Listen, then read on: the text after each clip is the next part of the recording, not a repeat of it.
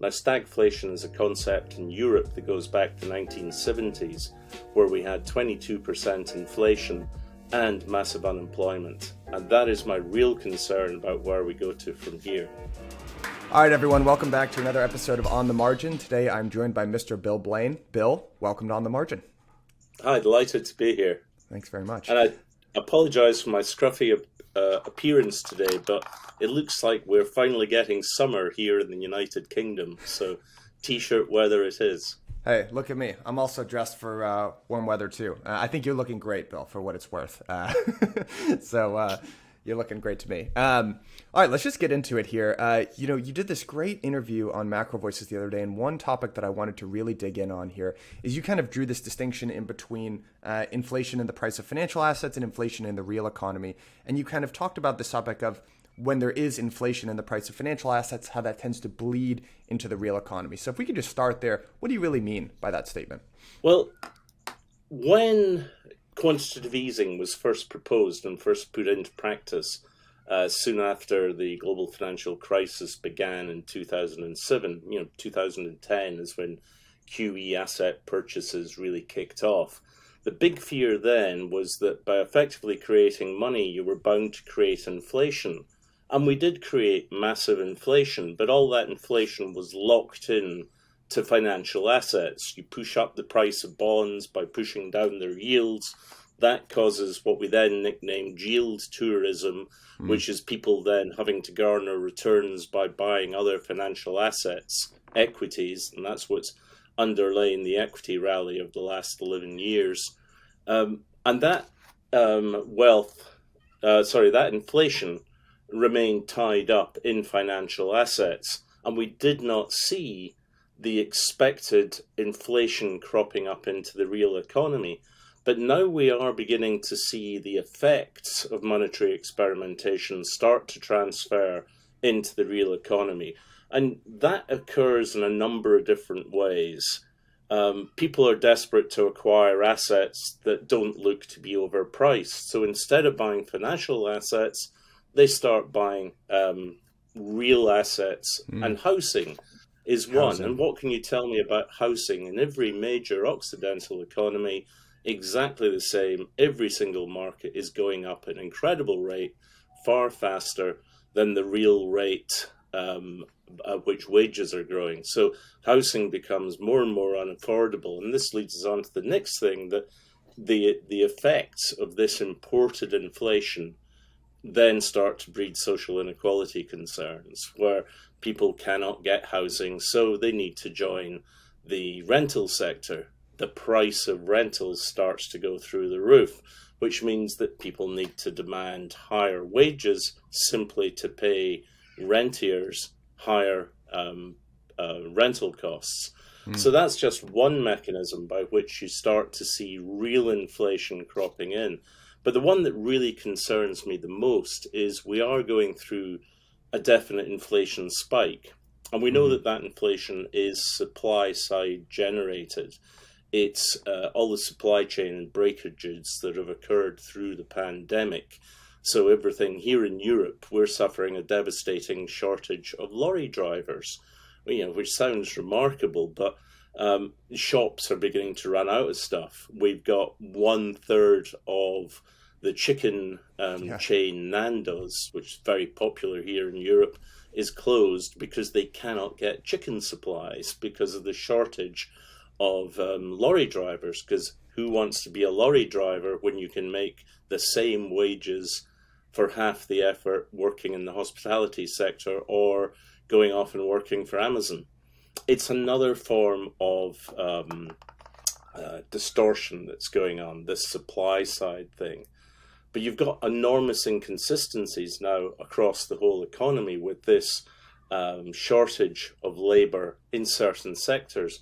And again, that has the, the effect of pushing up wages. And then, of course, we've got all the effects that, um, uh, for instance, this morning we had the German automakers warning that the current chip shortage due to the lack of uh, chips coming from the Far East, is going to result in two, three years damage to their balance sheets in terms of what they're able to sell. But these are all supply side. Mm. Um, and they are you know, they are stimulating the inflation we see just now. But why are we getting that inflation? Because with the pandemic finishing, we're having everyone suddenly spending the savings that they've accumulated during the pandemic, and it's creating this bounce in demand, further adding to the inflation forces in the economy. I mean, I, I was talking this morning um, that this uh, recovery spike that we've just seen is something of a dead cat bounce in that it's really only putting us back to where we would expect to be. And if you actually take a look at the numbers, um, it, it, certainly seems to show that economies are unlikely to recover as dramatically and as strongly as people have been expecting in the wake of the pandemic. And that makes me fear two things. The first is we have we definitely have supply side inflation from the supply um, problems I talked about. We also have this dangerous import of the inflation that is embedded within financial assets now leaking into the economy. And you have the likelihood that economies aren't going to go much faster and stronger. I can come back and talk about why that's the case, which leads us to inflation and the very dangerous scenario of a flatlining global economy for all kinds of reasons. And that effectively is stagflation. Now, stagflation is a concept in Europe that goes back to the 1970s, where we had 22% inflation and massive unemployment. And that is my real concern about where we go to from here. Bill, you, you're making my job hard. There's so many questions that I want to ask you based on the follow up there. I don't even know where to start. Okay, let me start with the inflation point here. So I love that you just separated kind of the supply based inflation with longer term inflation, maybe associated with money printing and this concept of stagflation. I want to start just because there's a lot to unpack there with this kind of labor shortage that we're seeing right now and some of these supply side driven things. So you mentioned one third of Nando's being closed uh, in the UK. Um, so I've been talking about this as well recently. Anecdotally, you're starting to see it crop up all over the place. I live in Williamsburg, New York. Every single restaurant that I go to nowadays, you know, it's uh, hey, we're short staffed. Hey, because we're short staffed, there's a surcharge associated with this, et cetera, et cetera. Now, at least in the U.S., people are blaming this on on the common narrative is this is due to unemployment benefits that's being extended by the federal government. But there's a great chart out there. Uh, I'll see if I can find it for you later, um, where if you look at non farm payrolls between April and July in states that have prematurely ended the benefits versus ones that have continued with the benefits, there's literally no change in labor market participation. So it's kind of like we're looking at something else. So is it, you, you kind of mentioned this financial cushion and, and savings that people had built up during the pandemic. What do you attribute? Why, are, why is every business just struggling to get labor? right now. I mean, what, what's your take on well, that? Well, it, it, it's a very interesting one as to, to the way that uh, things have, the way that the, the pandemic end game is shaping up. Mm-hmm. And I don't, for one th- second, think that the pandemic is over. I think we're gonna. It's now going to be a long term factor. Um, I also think this uh, story about you know furlough money discouraging people from actively seeking work mm-hmm. and that um, real wages are too high. Uh, and that um, the industry is being killed, the hospitality business is being killed by minimum wage legislation. I, I think that's all a right wing distraction and we should ignore it. Mm-hmm. The reality for workers is that it is an extremely low paid sector. Mm-hmm. I mean, it, that has always been the case. And, you know, I can give you the, the same kind of uh, anecdotal evidence that hospitality is in an almost terminal decline everywhere. I have friends who actually cancelled their wedding this year, not because um, of any personal problem they're having, but because they're worried that the restaurant that they were going to have the reception in would not be able to guarantee the quality of service and food that you they would expect. So they're putting mm. it back till things normalize. But the reality is, for service and restaurants to return to the kind of standards, you're going to have to start paying people properly. And that means the price of hospitality meals is going to go through the roof if we want to get that kind of thing again. Why is that? Because I don't think young people anymore want to take that kind of job they are looking for other things to do. And when you can go and get a job delivering um, pizzas for Deliveroo, or you can um, you you want to go and um, work for Amazon and be paid better, then go and do it. You know, so there is an endemic labor supply, and the only way that that corrects itself is when wages starts to balance with supply, and that will mean we're going to see a much smaller hospitality sector, I reckon, going forward, because there'll just be fewer people willing to work for low wages and those of us who are consumers of hospitality service are going to be unwilling to pay more for it. Uh, so you know that that's a massive change in the way that we consume that is being generated by the pandemic. And I think if we look at uh, a number of other industries, I mean, the other one that fascinates me is transport. Mm. Uh, let's look at the aviation companies. Let's think about Boeing and Airbus uh, we, we really haven't worked out what the long term implications for them is going to be as a result of the way that the pandemic has changed behaviors and also the cost structure. Bill, I think that's a really, I mean, it's really interesting that you point out those industries because I, I agree. I think from a different generation, uh, young folks might be less willing to um, want to take part in those jobs.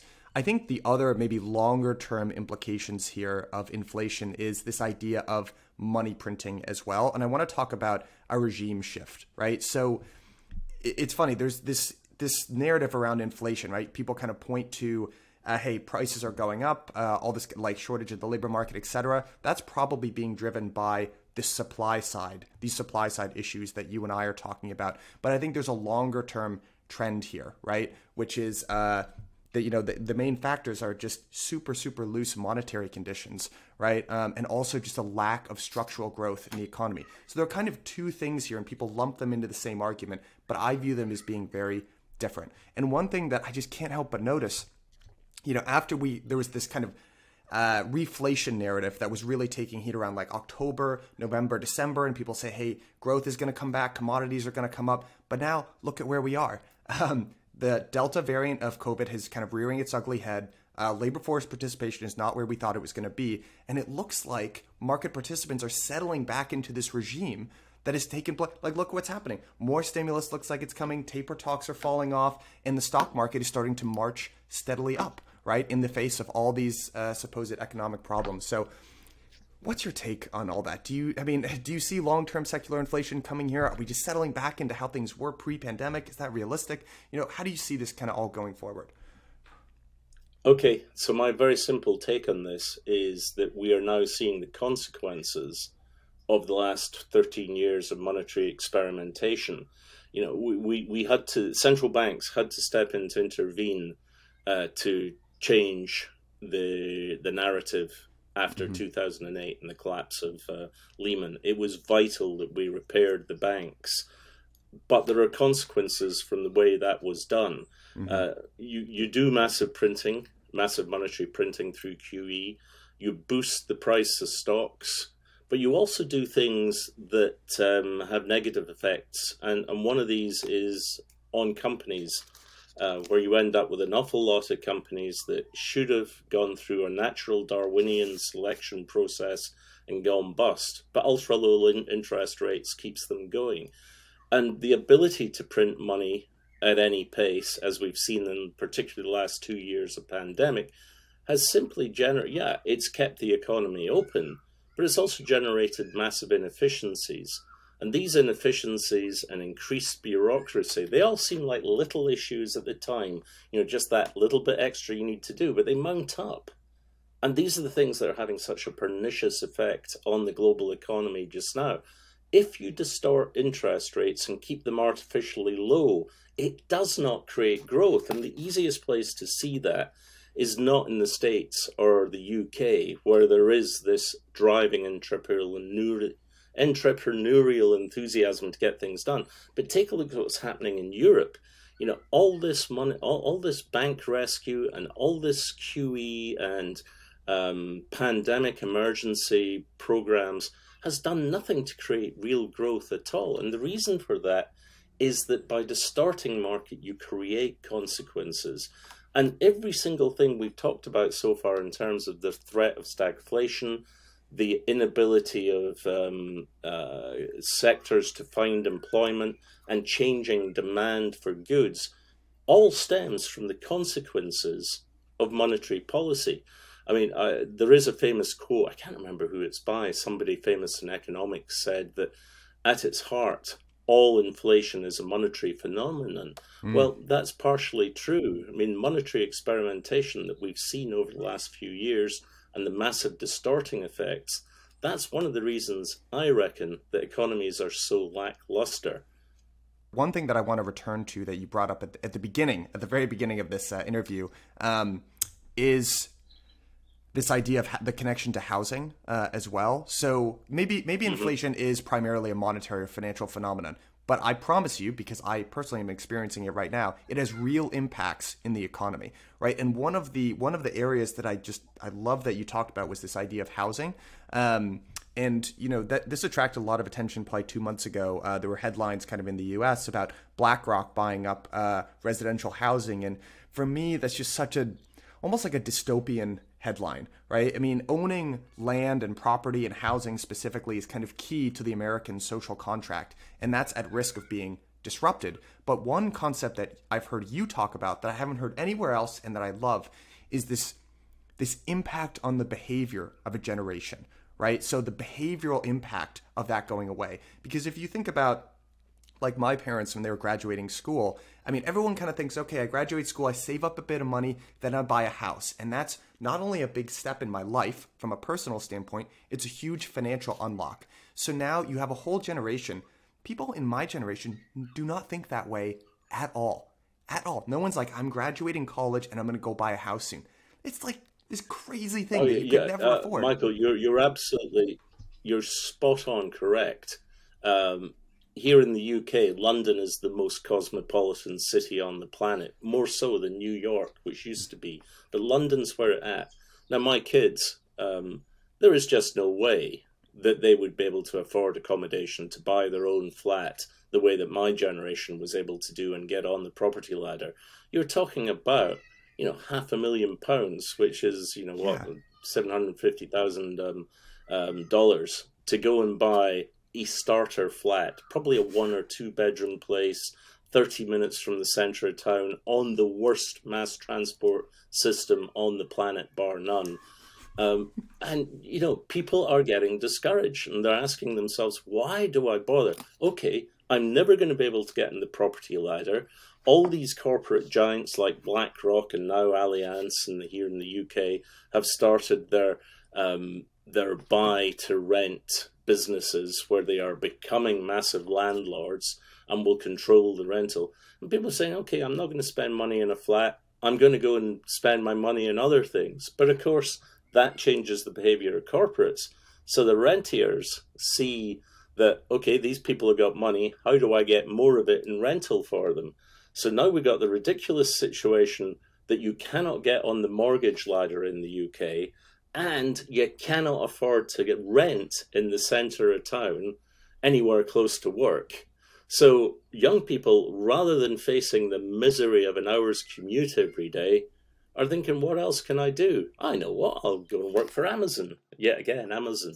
Uh, what they're not deciding to go and do is work in local restaurants uh, because I think they see that as bloody hard work with no reward.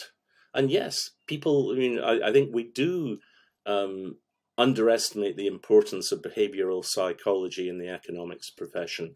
You know, we have to ask ourselves what motivates people to do things. Um, but this is only one small part of the uh, wage inflation push that we're seeing going through. Millennials get a lot of flack, right, for saying things like, "Hey, this is this soft snowflake generation, and you guys want to just uh, spend your money on uh, avocado toast, and you're not saving it, etc." Right? And one thing that I think people don't draw the connection to properly is this is this uh, connection between consumerism or the desire to spend money and the lack of a path to savings or financial opportunity. So basically, the the psychological connection is if I let's say I'm graduating and um, I see this path where if I just save up my money uh, for a couple years, I can afford to buy a home. And if I buy that home, then that's going to be this big financial unlock. It's going to enable me to do all these things. Well, then that impacts my daily life, right? Because I don't I don't spend some money here. I'm like, oh, if I you know I got to save so I can make sure that I get to this goal, right? If you do not have that goal, then it impacts your ability to spend. You're like, eh, I'm not even really saving anything. This is an um, impossible goal to reach anyway. So yeah, I'll just spend two extra uh, two extra dollars here on avocados, you know, at Chipotle or something like that. And you know, it's funny when I ran this theory by my my parents, they said, huh. So that actually reminds me of this theory. Uh, that people used to say back in the 80s you have all these yuppies spending money on BMWs that's only because they can't afford the second home anymore which was that was just such a light bulb moment for me because I was like man this trend has been going on for a long time, uh, actually. Um, and and people like to draw this distinction between oh millennials care more about experiences and blah blah blah. It's like maybe we just can't afford the things that our parents can afford. You know, maybe that's the causal error. I, yeah, I, I, think it basically is that simple. Yeah, people say, "Oh, I'm not going to buy a flat, so I'm, I'm going to start spending all my money on having really great experience type holidays." Bollocks to that. What they're discovering is they don't own their own flat with the advantages and wealth creation and accumulation that creates for them, but they are paying as much in rental as they would have paid on a mortgage, if not more. But they cannot get the uh, you know, to, to buy a flat in London, let's think about it. If it's a £500,000 flat, which will be pretty dingy and horrible in the centre of London mm-hmm. or somewhere close to central London, by which I mean a one hour commute, mm-hmm. um, you're going to be talking about 500,000. So that means you're going to have to have 200,000 in savings and you're going to have to be earning £100,000 a year, which is roughly three times the medium salary in the UK. So, unless the bank of mum and dad is there with the dosh to help you out, you don't stand a chance. And this again becomes another element in the psychology that there are some that will have that access to the bank of mum and dad, most don't. So, again, that changes it. But the idea that the millennials suddenly find that they're £40,000 per annum salaries allows them to go and have avocado toast every morning, which is a delicious dish, let me add, especially put dukkha on top of it. I recommend you all try it. It is um, delicious. You know, they're not doing avocado toast because they can't afford it they've spent all their income on their rental. And they're now going into the stores and discovering that stuff is more expensive. I mean, mm. avocados are now £2 each in the UK. I mean, this, this is really the end of the world stuff. Yeah. You know, uh, you Bill, can buy plenty of sourdough. Yeah, uh, you can talk to my mom too. She's doing that very classic pandemic thing of learning to make her own sourdough. Um, so I'm encouraging her. I, I got to admit, I tried it. I didn't succeed. Howdy, everyone. If you're a long-term investor in Ethereum, then listen up because I am talking directly to you here. If you've been listening to the show for the last two months, then you know that I am a big, big fan of ETH and the entire world of DeFi that's being built on top of it. It's honestly just super, super interesting, but it's also probably the single greatest wealth creation opportunity that I am ever going to see in my entire life. And the best thing about ETH is that you can hold it, but with this new upgrade to 2.0, you can also stake it and earn yield that way. The only problem is, under the current set of rules, unless you have 32 ETH, or at today's price is almost $100,000, then you can't stake it. Until now. Our good friends over at Matrixport just unrolled a solution which allows investors with as few as 5 ETH to start staking today. At the time of this recording, you can earn up to 9% APY, although that's going to vary based on the protocol. So, stop what you're doing, stop listening to me, go click the link at the bottom of this episode. If it's on YouTube or Spotify or Apple or whatever it is, click that link, go over to the website, and tell them that I sent you. All right, give me a little credit, but definitely go click the link, start learning about how you can stake your ETH and earn yield or other yield generation opportunities. So, we do a weekly roundup here on, on the margin. So end of the week, we kind of look at a bunch of charts and hey, this is interesting, that's interesting. And uh, last week's um, maybe two weeks ago, housing was kind of a central feature. I looked at two uh, things, which is one in the U.S. How many years of of median salary does it take to purchase a home in the U.S. Um, and also what is the median age of a homeowner in the U.S. over time? So I'll, just I'll tell you one and I'll ask you to guess the other. So uh, the median number of years it took to work to afford a home in the United States has risen from three years in the 1970s to six and a half years today. right? So that's a pretty startling statistic. But if I were to ask you, what is the average, what is the median age of a homeowner in the U.S.? What would you say? Uh, it's probably going up mid 40s. 47. 47. And that has risen eight years since the financial crisis alone, which is pretty crazy. Wow. That's actually very important. Yeah. Uh, that it, it, it just changed how it illustrates just how the manipulation of interest rates has real mm-hmm. consequences. Mm. You think by lowering interest rates you make things more affordable. No, you actually create inflation, making them less affordable. Bill, you know, going back to this this great point that you made in your your sort of opening speech here, um, it, especially within finance, I listen to a lot of these talks, and people tend tend to focus on this debate that's going on. Are we going towards an environment of inflation versus one of secular inflation versus one of secular deflation? And to me, that's an important part of the discussion. But for me, it all kind of goes back to this idea of wealth inequality. I've heard you reference the same thing, and you kind of put this issue of wealth inequality at the center of a lot of your thinking as well. Talk to us about why is that such an important concept to understand, and what, why is it at the center of, of your thoughts, kind of as well? Well, you know, wealth inequality is definitely getting worse. Um, the idea that you're going to get billionaires trickling down their wealth to benefit society, you know, that's a, that that to me that feels like propaganda. Mm. Um, yes, we have some billionaires who are doing enormous good and they're trying to invest in the right kind of things, but basically, wealth for wealth's sake seems to be the game. And again, inequality creates behaviors. And it all comes back to this concept we've been talking about today, which is the way in which the consequences of um, monetary experimentation create behavioral um, changes in people and you're we're beginning to see that very clearly in people getting angry about the haves versus the have-nots, and people are, you know, to, to some extent, it's disguised by some of the woke um, agenda, um, which really just covers up some of the inconsistencies that are now so glaring in society. But you can look at lots of different um, examples of how it changes people, and I'll, I'll, let me discuss two of them. The, the first would be uh, here in the UK, we've got a massive um, issue with um, you know poverty.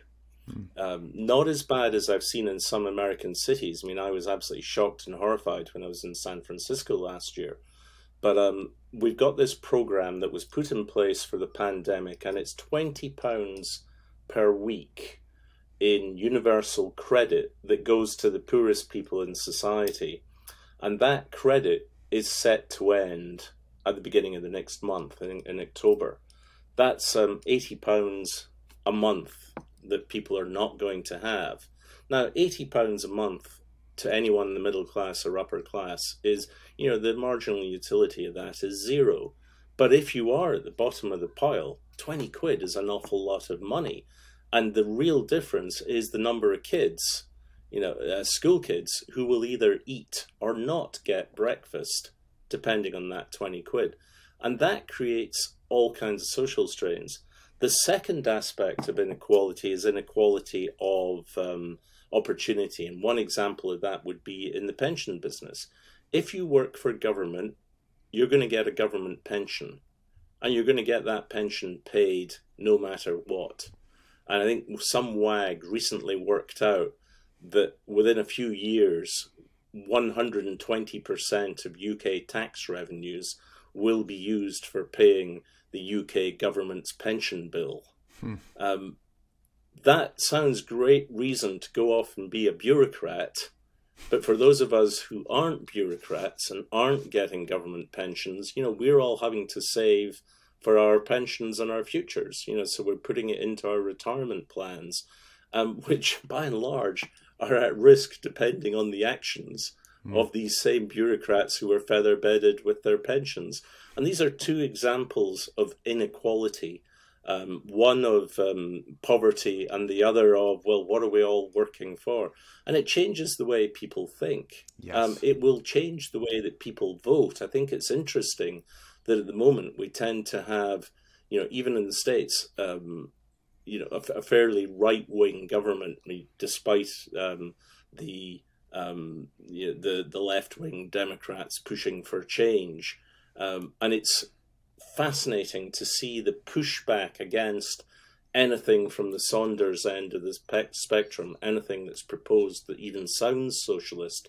But you know what? Unless we shift towards a more fairer um, income distribution, you're going to see enormous pressures develop. Now, it has happened in the past, and a good example of that is 1945 here in the UK at the end of the Second World War, where voters, after five years of massive tension, threat, and danger, much like COVID in mm. some respects, the the electorate turned round, threw Churchill out of office, and replaced him with the most left-leaning Labour government the UK has ever had.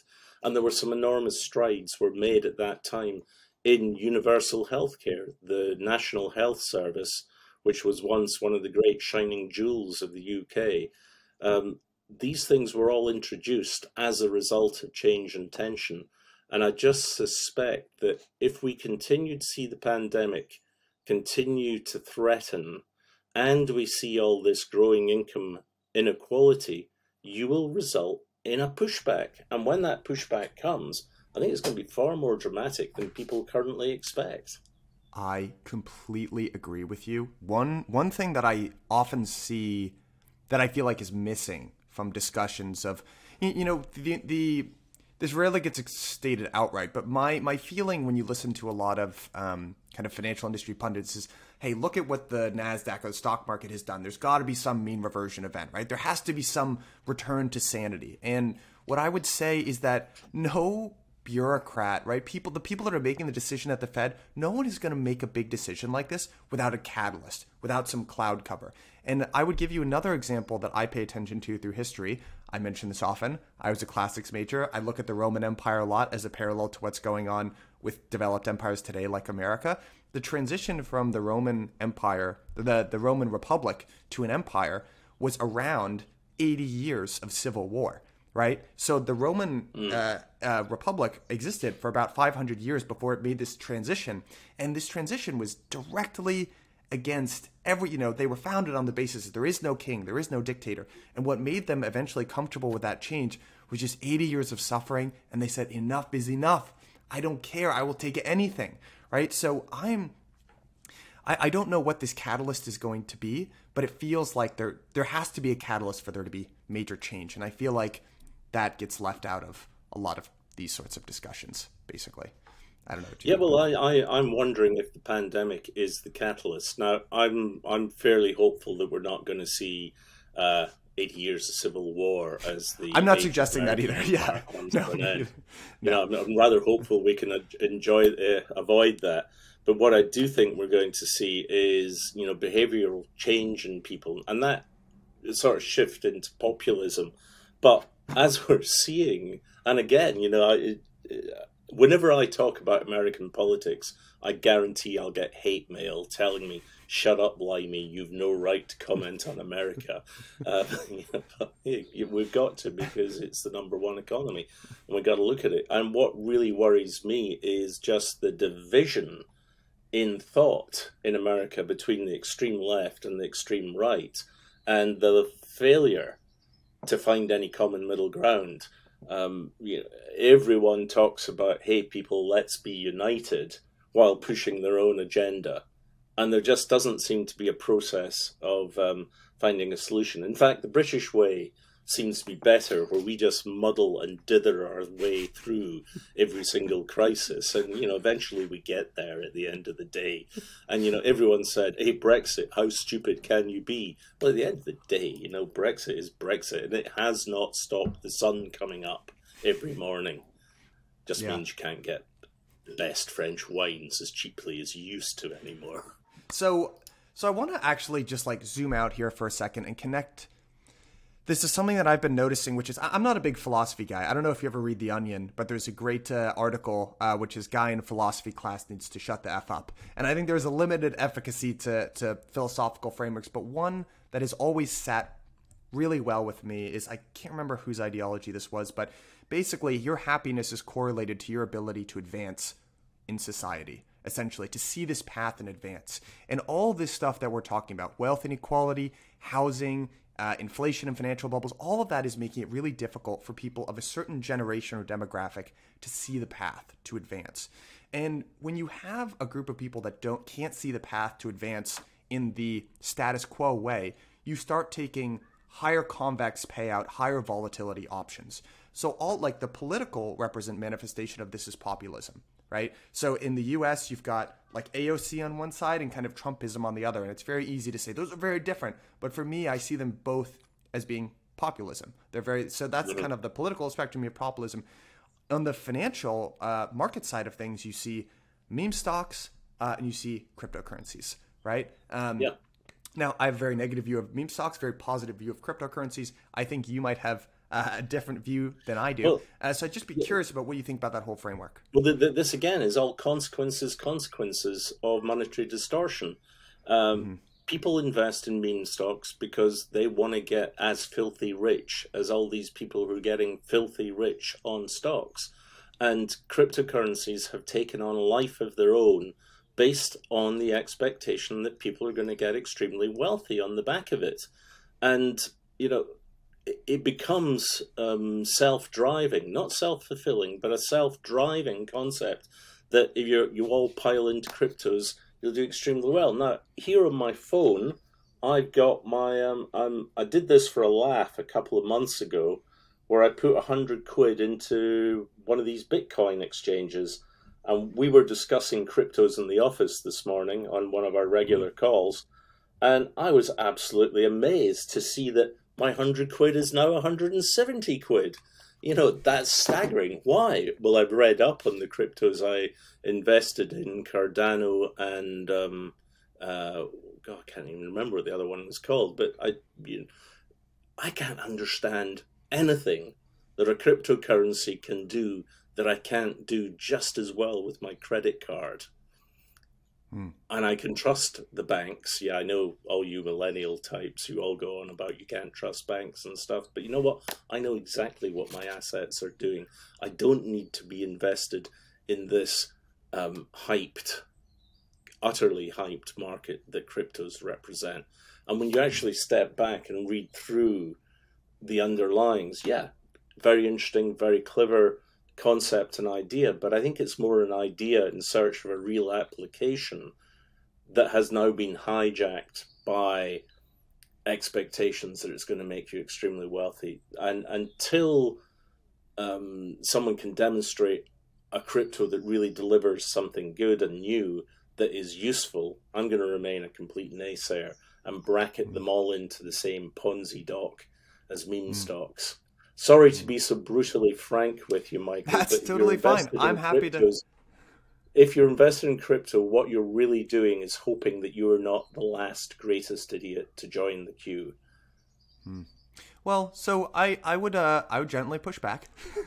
uh, okay. Here's my here's my here's my thoughts. Um, so I think there are a couple of different uh, notions there, which is one, uh, you know, crypto tends to get bucketed in this like monetary phenomenon, and that's because the 1st mm-hmm. So to me, what crypto is is it's an innovation in how networks monetize and how they're owned. Right. That's to me what this is. This is a this is a revolution in turn. It solves a coordination problem. Now, the first application, which is why so many people think of it from this monetary context, was Bitcoin and that was solving a coordination problem across money networks. And it, it, it is there. There is. I am part of a, a younger generation. I probably do have less.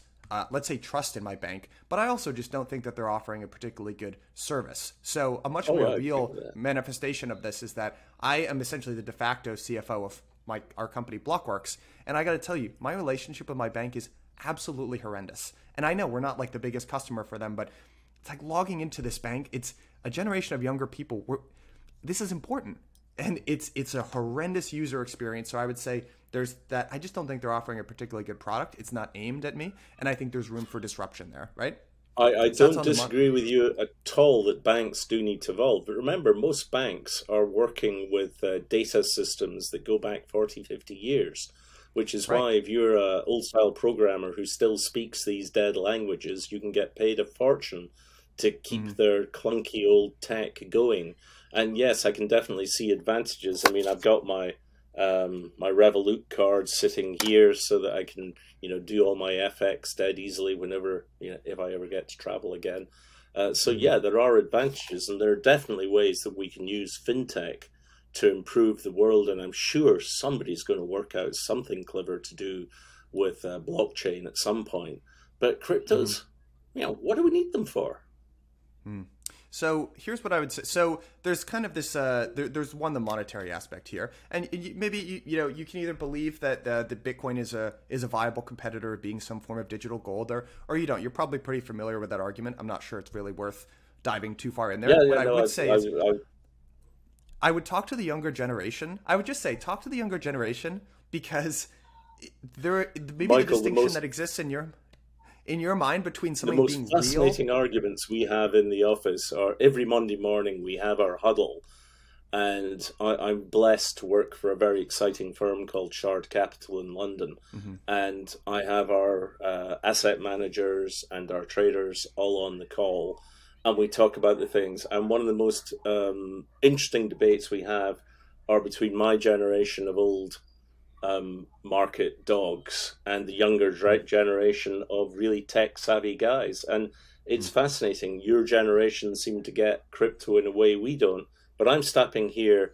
I'm I'm basing my experience on 40 years in the markets and watching a succession of crashes in bond markets and stock markets of unrealistic dreams and unfulfilled expectations, and you learn to step back. And I describe myself as an optimistic pessimist, but you know mm. what? I can smell rotten fish from a mile away now, and I'm looking at crypto.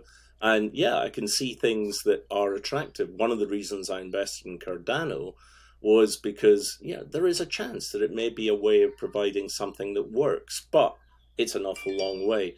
Bitcoin, first iteration of crypto, many of the ones that have followed it have become slightly better. Um, we could get on and we could talk about all the problems with uh, the CO2 wastage when you're mining the stuff or the insecurities that go with it. I mean, look look at this call today. We've had to stop three times because tech problems. And and you mm-hmm. tell me that crypto exchanges are going to be completely safe. I'm I'm just not a believer. So I'm afraid we'll have to differ on that one. But otherwise, this has been an absolutely fascinating conversation. It and again, it highlights behavioral changes. I think cryptos are all about behavior caused by income inequality the desperate desire to get rich without really trying too hard. Now, here I am in the dotage twilight years of my career, having worked and enjoyed every single moment in finance, but I know you have to work damn hard to get anywhere in it. Mm. And, uh, you know, investing yeah. in Bitcoin is not going to make your fortune, I don't think. So here's one important distinction that I would draw because as someone who's operating primarily in this industry, it's actually an industry of workaholics. There's the people who are the, the hot money speculators that are FOMOing into things like Cardano and NFTs and stuff like that. But there is a actually a very young industry of people who are working like I work at 24 seven, you know, type schedule. Here, this is Labor Day for me, and here we're sitting and recording this. I don't have uh, yeah. real weekends or holidays or anything like that. Uh, and there is a, a generation of, of, folks like me who are doing this.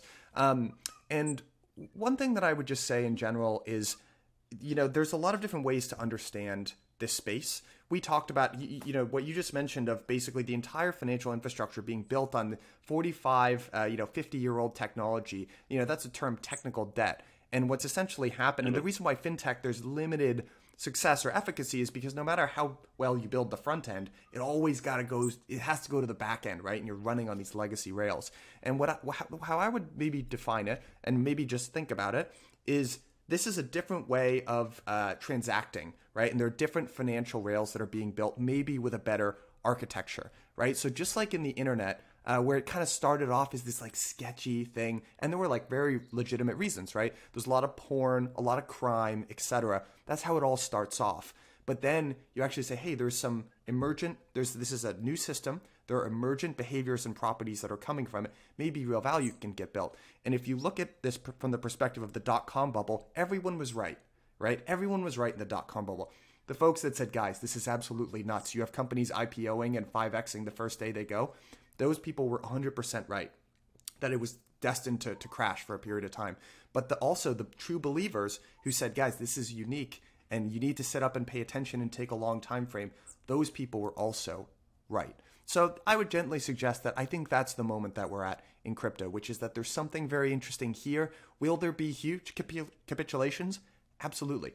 I even would go so far as to say most retail participants have probably lost money in this space. Mm-hmm. I have made disgustingly bad investments, and I'm not embarrassed to say that. But what I but what I do believe is that over time there will be growth, and that's why I'm happy to to work in this in this space. Well, so, you know, I I have um, I guess one of the tricks I've learned is that it's not what I know to be true about the sheer unsustainability of meme stocks or cryptos. What actually matters is what the market believes, because the market mm-hmm. is just an enormous voting machine.